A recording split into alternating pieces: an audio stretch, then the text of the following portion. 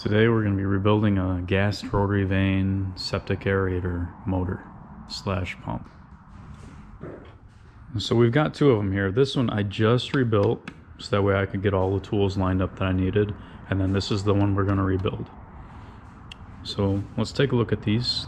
They are for Clearstream. They are the CS103E6 model. I believe that has become obsolete and replaced by another Gast rotor vane motor. But regardless, these can be rebuilt. So generally what happens with these is the vanes go bad. And some people, they just pull the vanes out and replace them. And, and, sometimes that's just fine. But what I do is I do a full rebuild. I disassemble them and I replace the vanes and the bearings. I don't rewind the motors because that's not cost effective. But let's go through some of the tools that we're going to need. This is my control panel. It has the 7 amp breaker on it so I don't end up cooking windings if they happen to be grounded. Got a switch. Turn this one on. It's pulling 1.06 amps, 114 watts, so that thing's running good. I can't hook up a meter to it right now to check for airflow because I don't have um, attachment on this one. Now, if you deal with aerators, you you should have one of these gauges. This is a Dwyer SCFM air gauge. It goes from 0 to 10 CFM or SCFM, you use that to check the airflow coming out of the aerator because sometimes these things are running and they are blowing air, but they're only pushing like 1 CFM. If your aerator system requires 3 or 4 CFM, that's not enough. So that's what this is. And this gauge on the top is for checking for leaks within the, uh, line from the, the motor to the, uh, the tank. So that's what that's about. You would um, seal up the end in the tank and then pressurize this and then close the valve here and make sure it holds air. That's what that is. So we got some cleaner for cleaning the motor, some dry lube for the metal parts in there, a few sockets. I'm not going to go through the specific sizes because you should just have a socket set. Motor, we're going to use that to mark positions of the end caps before we take it apart. A two jaw puller works really well. I know in the, the jet aerator videos I used um, I used a bearing splitter but the way these are designed, the two jaw puller works a lot better. Anti-seize, gonna use a little bit of that. Your rebuild kit has the vanes, gaskets, new filters, O-rings. A little pry bar, this is actually for drum brakes, for adjusting drum brakes, but it works really well for these. Flat screwdriver. Feeler gauge, the one that I'm using right here is 15 ten thousandths some people would call that 15 thousandths. Either way is correct, but you know, technically speaking, because there's there's four positions here, the fourth position you got tens, hundreds, thousands, ten thousandths, and you always use the last position shown as your finishing number. So this is 15 ten thousandths, but some people would call it 15 thousandths, and that's okay. And then you're gonna need two bearings. These are the um, 6203 bearings, two of them bearing pusher, three quarter inch pipe that's been cut and flattened, brass hammer, that's just for putting a couple screws in, crescent wrench, pliers, and you could really use a torque wrench. This is a, a, dial style because you need to torque a few bolts in here to between 90 and 120. I don't like that they give you a range, so I set it at 100 and your typical click type torque wrenches for inch pounds start at 120, so that's why I use the dial style. And optional tools are beer. You might want beer for this. First thing we're gonna want to do is remove these two things off of here. This is this is the outlet, this is a check valve, and this is where it would connect to your airline. And this is the intake filter. And if you're familiar with these, you might notice that it's missing a little cap that goes on top to hold these down. And that's probably a reason why this motor is locked up because it was sucking dirt through there. Now this is generally just hand tight. So we're going to take that off, set it aside, and these are going to go in the garbage because they're old and used. And then so you can just take a wrench and put it on there and give it a little spin.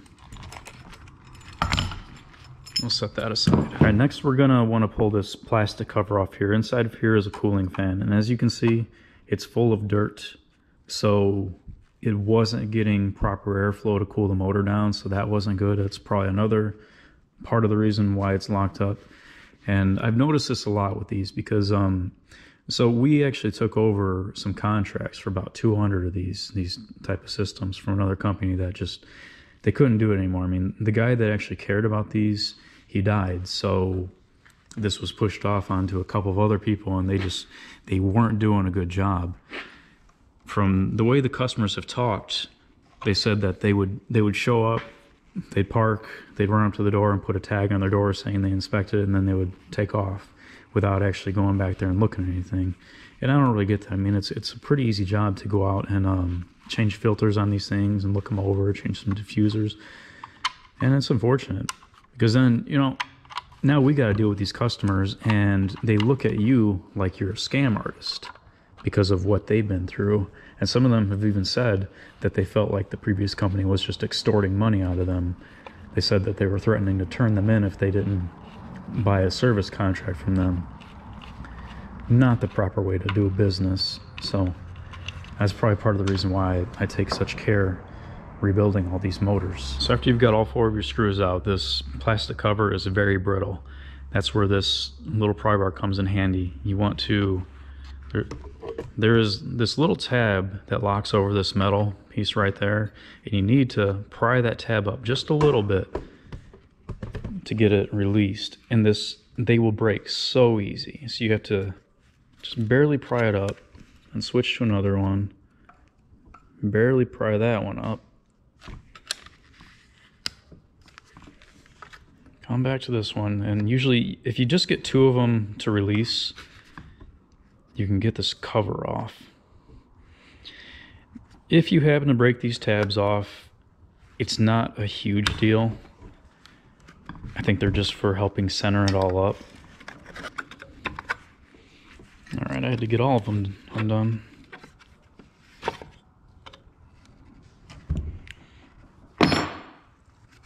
Yeah, look at that. That's pretty bad. We need to take this plastic fan off there. I've actually got the motor to free up, but... And it'll spin pretty easy, but um, I don't hear any vanes dropping. Normally, when you turn this, you hear click, click, click, click, click, click from the vanes dropping as they rotate, but it's not doing that. So we're gonna get it Take apart. your pliers and squeeze this little clamp and slowly work it off because you don't want to break this fan. Now we want to get this fan off of here. You got to be careful with this thing too. Take your pry bar and just slowly start working it off.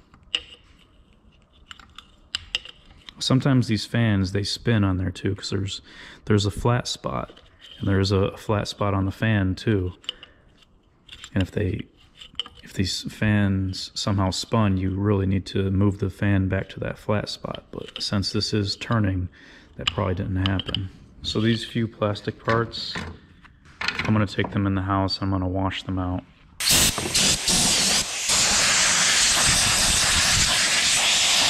Now that I got all the plastic pieces off, I like to uh, try to clean it up a little bit before I even start working on it.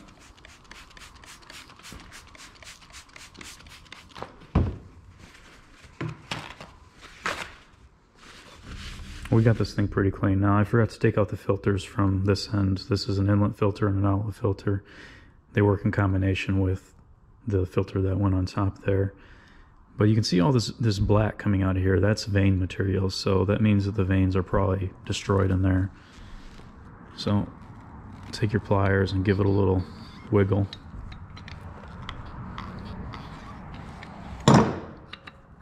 Pull this one out first, see what's going on in there.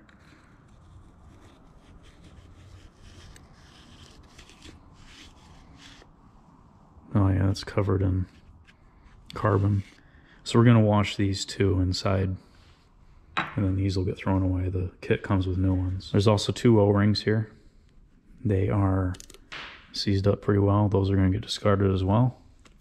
if you watched my last video on rebuilding the jet aeration motor, I kind of talked a little bit about the legality of using a non-jet brand motor in your aeration unit if it's a jet system. And I kind of explained that it's technically illegal to put someone else's motor into a jet system.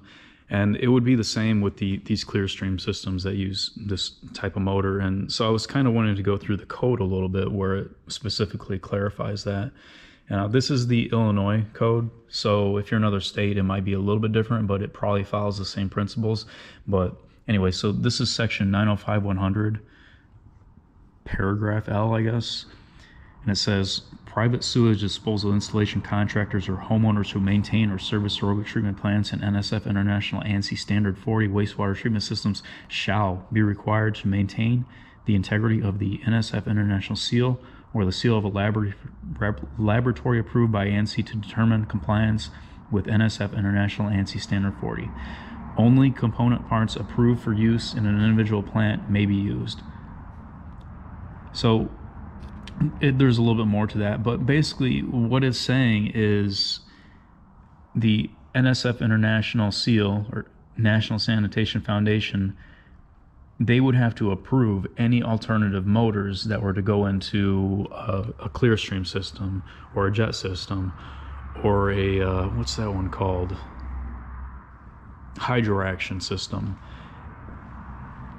Nsf international would have to approve an alternative motor to go in that and and they won't do that so that's why it makes it illegal to put a um, see, what is this one like uh, that one there, Septic Solutions, they sell an alternative.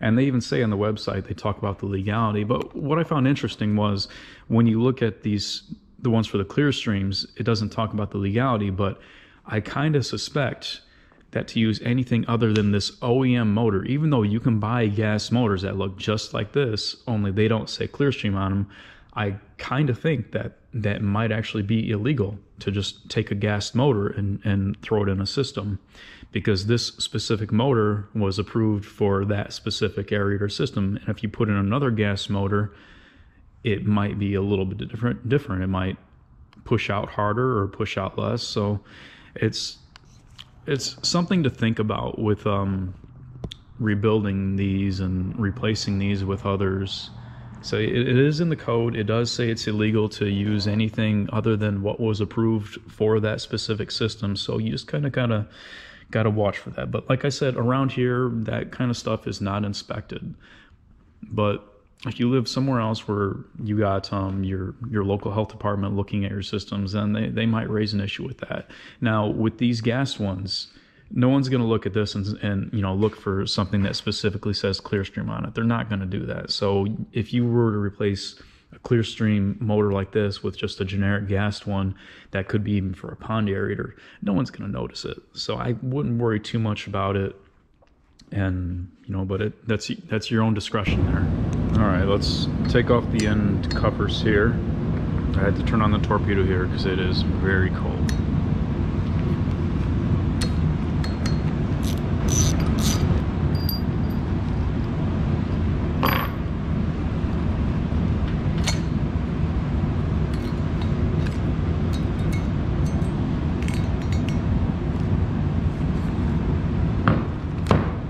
don't worry about damaging this gasket. The new kit comes with a new one.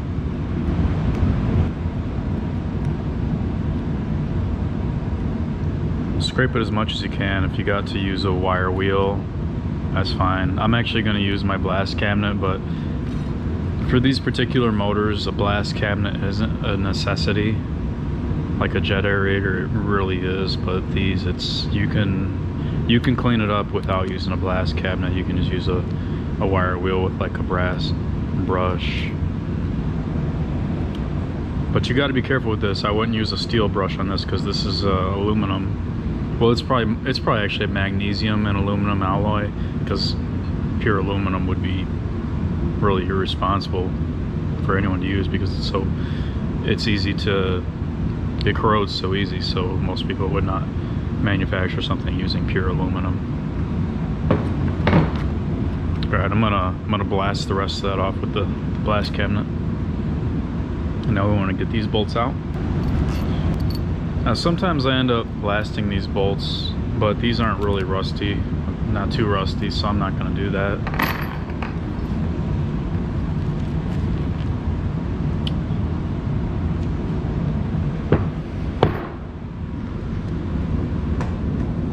Okay, so here's what the vanes are looking like. They're they're in pretty rough shape. Yeah, they're all broken apart. They're supposed to fill that whole thing. So, yeah, that's the problem with this one. The vanes have been destroyed. So we're to take these uh, Allen screws out. We can, we can take this off right now too. But we're to take these Allen screws out and we can take this piece out.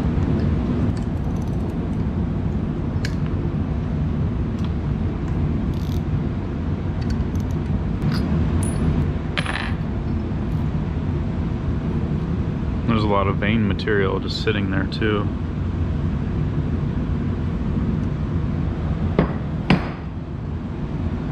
There's what's left of the vanes. Just kind of, they're kind of there. I'm gonna dump this over the trash can. Getting pretty stripped down now. Now we wanna get the case apart, so we're gonna take this 11 32nd socket. You can usually just put your finger on the other side of the bolt and undo it.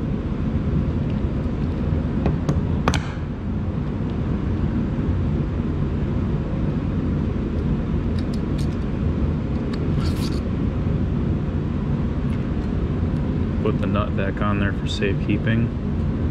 And then there's three more.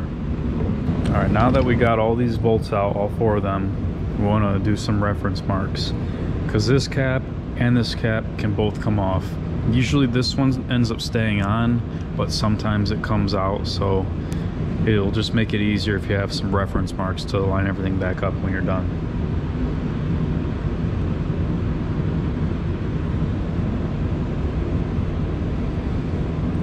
Now we can line that one up and we can line that one up. So this is an induction motor with capacitor start.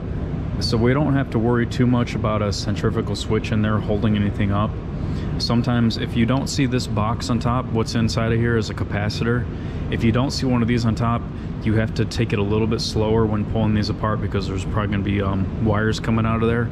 So you got to be careful with that. But this one's capacitor start, so there's not going to be anything to hold anything up unless a wire happens to get caught.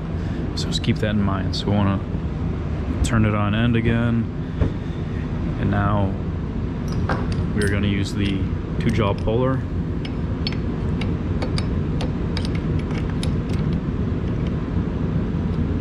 we're to start pulling all this off. This should be the only end that we need to pull off like this.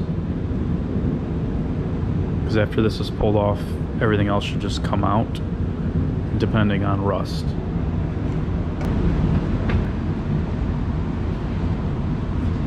doesn't look like anything's happening, does it? But if you look down here, you can see it's pulling this all apart.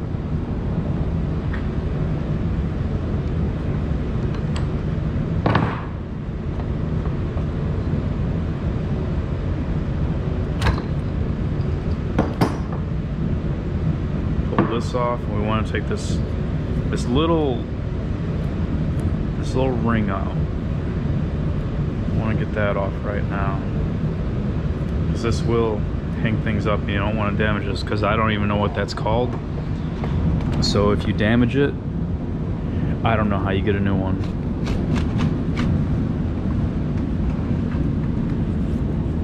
Get that out of there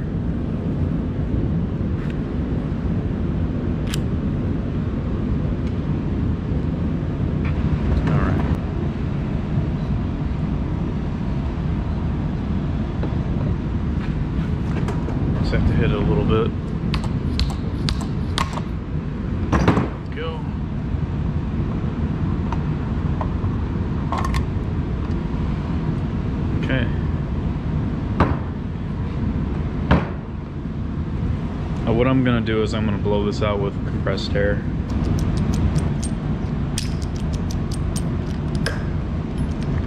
So now we're gonna pull the bearings off.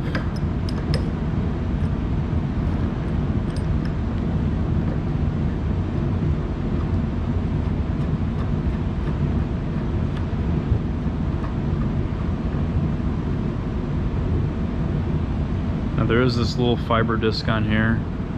It's not very easy to get off with like a screwdriver or pry bar, so I try to just leave it on there and pull it off with the bearing.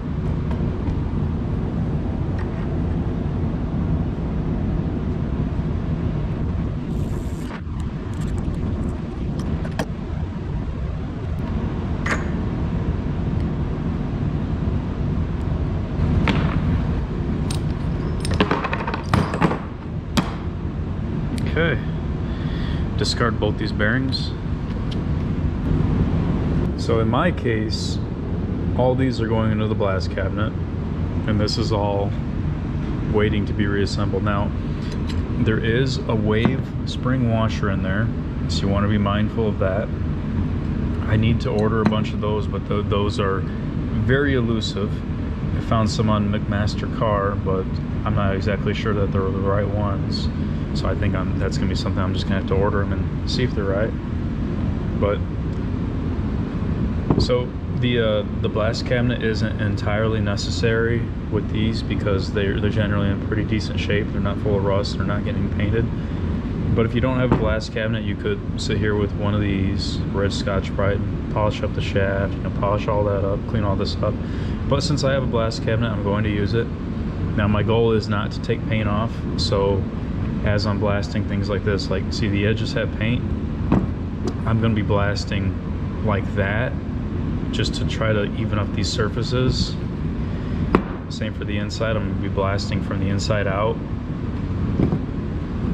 This rotor is getting fully blasted. I'm gonna blast into those grooves.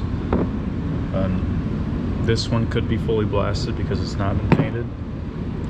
And then because this is that aluminum magnesium alloy, you want to be a little bit careful when blasting because you could eat into this. And the grit that I use is crushed glass. I don't use silica sand because that would absolutely destroy this. The crushed glass, it's very safe. It's it's good for taking off rust and paint, but not much metal damage. So I'm gonna blast the entire inside of this. I'm gonna avoid blasting any outside.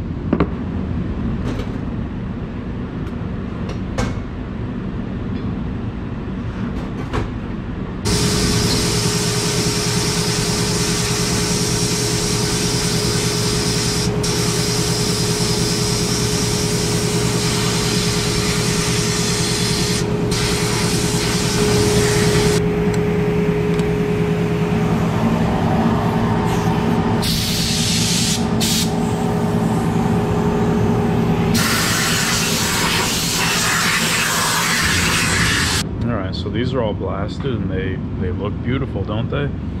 But they are bare metal so I need to protect them with this dry lube. Okay now I'm gonna have to stop for right now because it's like nine o'clock so I just I really need to go home and I'll, I'll finish up this tomorrow but the next step will be putting the bearings on there and reassembly. We're gonna start out with the uh, putting the bearings on here now this side with the, uh, the flats ground into it, that's usually the one that's tough to get the bearings started. So I like to start with that one. Put on a block of wood.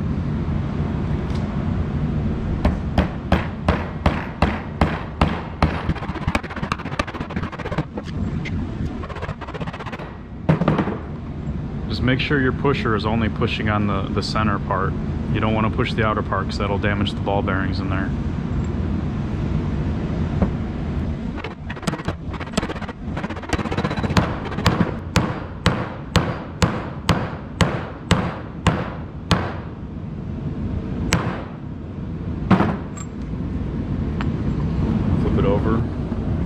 side on.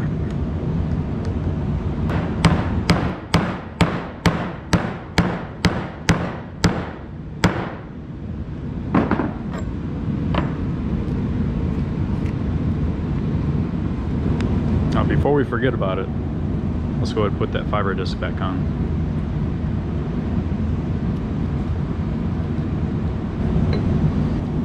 set this in there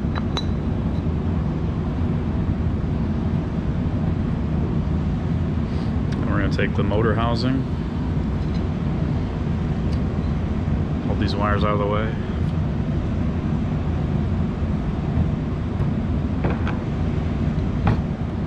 Drop that down.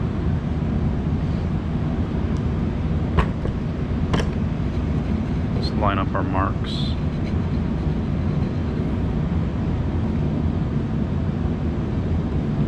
And now we're gonna bolt this together.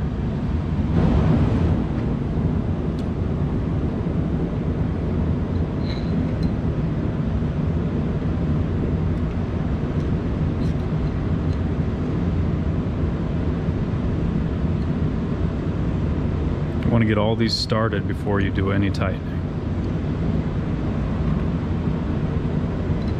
All right, now that we got all the bolts started, make sure your lines are still lined up. And then we just want to start snugging everything down. Don't want to tighten anything. You want to move around and just tighten each one up a little bit. And then once everything gets all snugged up, then you can tighten it. There we go. Make sure it still spins freely. Turn it up on it. Need this little piece that I don't know what it's called. Put that on there. And you're gonna need your 15 10 thousandths feeler gauge too. So this rotor, it doesn't, it's gonna go on either way. It doesn't really matter, but what you gotta be careful for is when you push this rotor on, it could make this, this piece right here, it could slide down. And you won't notice it until you destroy that thing. So you wanna kind of have your fingers in there a little bit. Get this on there.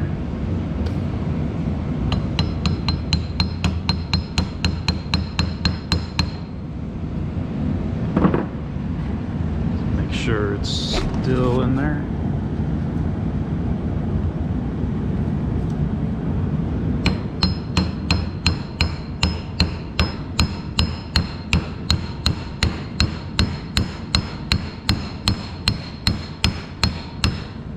Okay. You don't want to knock it all the way down yet. So now you want to take your, your 15 10 thousandths feeler gauge and put it in there. You just want it to barely, barely touch it. Just keep moving back and forth while you knock it down slowly. There we go. The reason you want a little bit of space in there because when this motor heats up, which it'll do because friction and everything, it'll expand and then it'll end up touching that and that'd be a problem. Next you want this piece and your two Allen screws and you want a dab of anti-seize. Just a dab, you don't need much. Got on just a little dab on the tip there. You just want to put it in the tip. Set this on here like that. You want to make sure these little lobes here are pointing up. Just kind of a, a reference there too. Get these started. Okay, so when you tighten these down, you want to make sure there's a gap between this and that. So you can take this whole piece right here and just slide it up as much as it'll go. Because again, that's about the, uh, when it heats up, it'll expand and then it'll interfere and it'll lock itself up. So just pull it up towards the top, make sure there's a gap between there, and tighten her down. All these bolts, these and all the bolts after this are all gonna be tightened to 100 inch pounds. So set my dial to 100.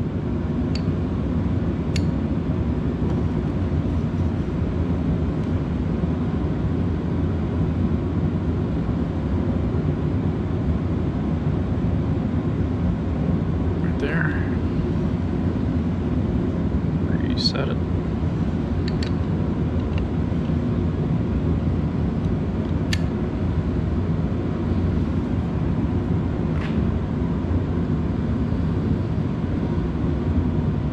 Right there.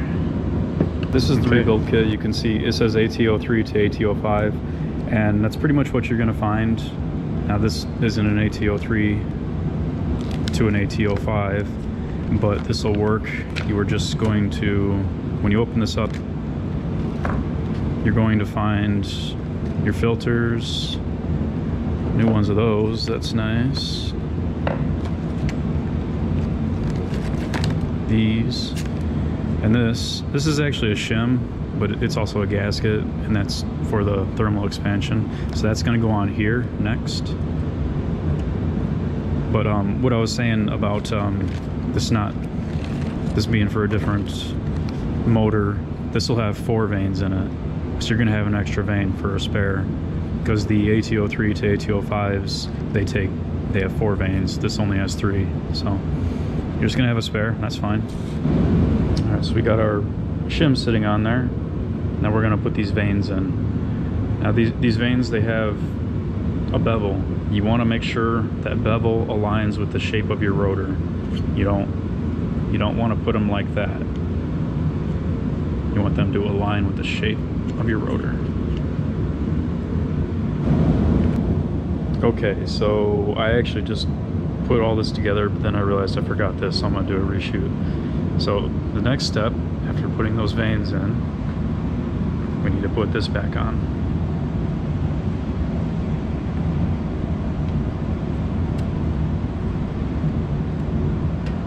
Okay, got that in there. All right, so now we're gonna put this piece on and the bolts. I've already put anti-seize on them. I like to put the bolts in there like that and then lift this up and put it on here because otherwise if you set that piece on there then you start moving around you end up moving this gasket and this is a very fragile gasket so you don't want to mess with it. So if you just put your bolts in here like that you can kind of just set them right down into the holes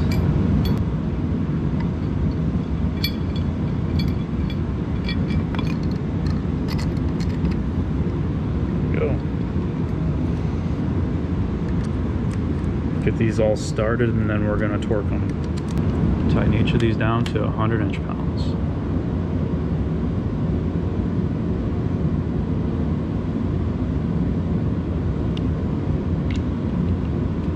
Time for this gasket to go on. Now some people glue this gasket down because they uh, they work with the pump laying down. Now since I have it standing up, I got gravity working with me, so I don't I don't really need to glue it just kind of set it on there. Take this. Set it on. Put all your bolts in. A little bit of anti-seize.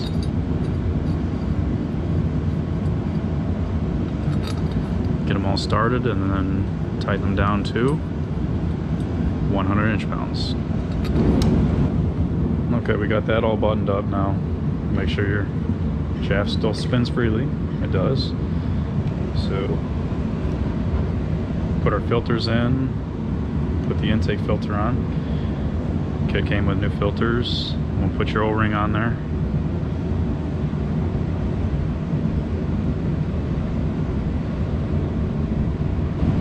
All right now this piece for your intake filter you want to be very careful with it. It looks like it's just plastic right? You know 50 60 cents.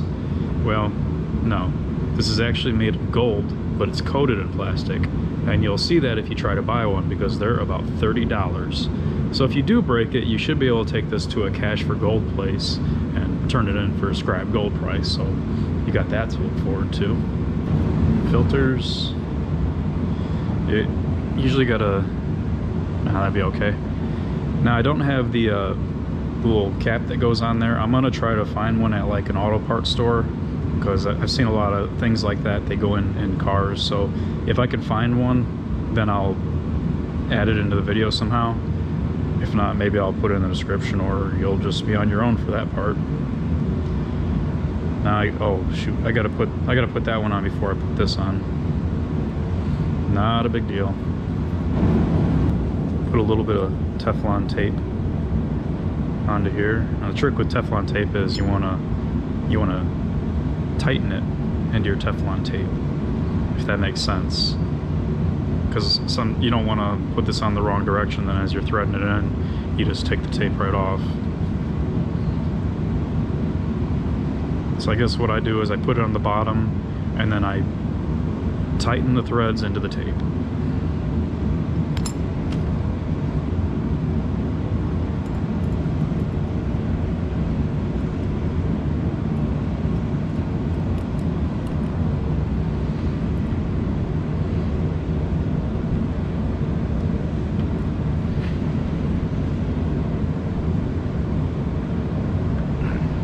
Now I have no idea if this switch works or not, so I'm just gonna leave it in there. And now you want to put your your plastic coated piece of gold into there. Okay, your fan, remember it's got it's got flats on it, so you want to line those flats up with the flats in your shaft.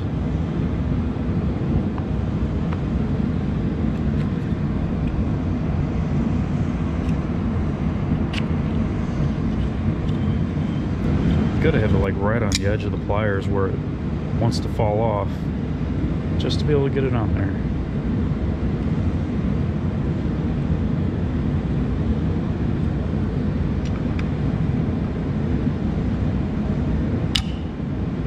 Okay, and this cover.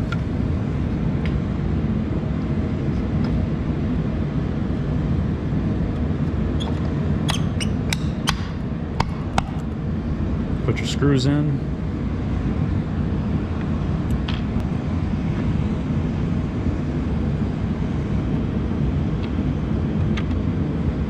Probably should use a nut driver for this. But I have to go look over there at all the numbers and they're in the dark right now. We're pretty much finished now. We just gotta test it out. So we've got it temporarily hooked up through a little cord through a control panel with the 7 amp circuit breaker. You want to make sure you got that circuit breaker and we got the CFM air gauge on there.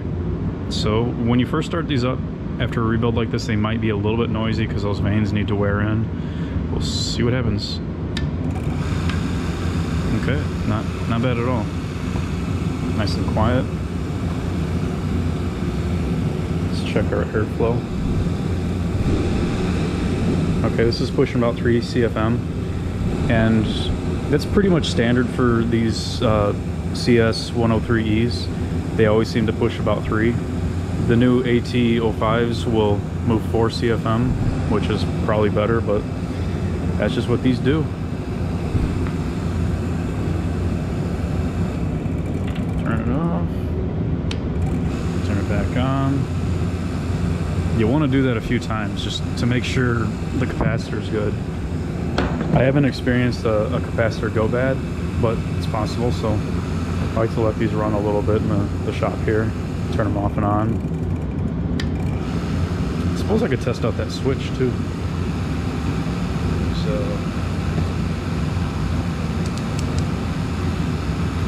a multimeter and check for continuity. Okay, so right now it has too much flow but that's because there's no um, diffusers on there. I'll see if I can slow down the flow a little bit, cause it to go off. Yeah, a little bit of restriction and it goes off. It's, it seems to be sticking. Guess that's not a big deal. When we turn it off, it should activate.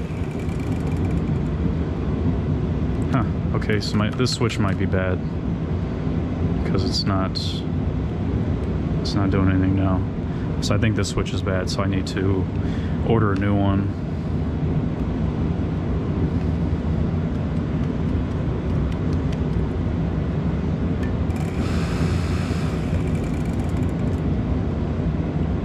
Yeah, this switch is no good. It worked for a minute, but now it's stuck in the open position, so I should be able to like look at the uh, the numbers on there and order some of those. I should have some in stock, but I, I never do because I, I never really mess with these switches too much. So that's uh, that's how you do a full rebuild on a Gast rotor vane septic aerator motor. And if you like this video, if it helped you, you should uh, really subscribe to my channel or give me a like or, or whatever. And it's not that I want to make money off YouTube. I would likely never monetize my channel because I just I don't think YouTube is a career like that. But um, if I get more likes and subscribes, then more people see my videos and and I think that I got a lot of interesting videos. I think I do a lot of unique things, and I'd like to do more of them. I'd like to show off more things that I do, and I'd like to make more videos in the future. I would like to do some septic installs and video them, and and to be quite honest, in life, I've actually made quite a bit of money, and on my channel, I show you exactly how I do it.